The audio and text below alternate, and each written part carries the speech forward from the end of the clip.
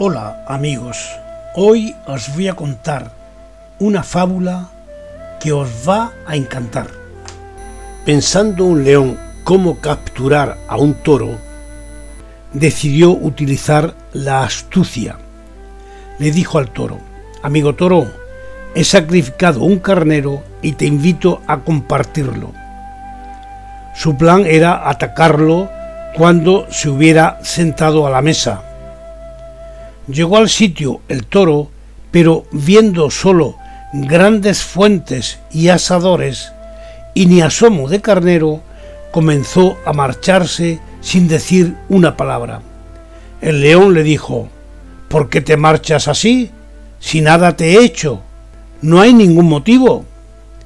Sí que hay un motivo, pues todos los preparativos que has hecho no son para un cuerpo de carnero, sino para el de un toro.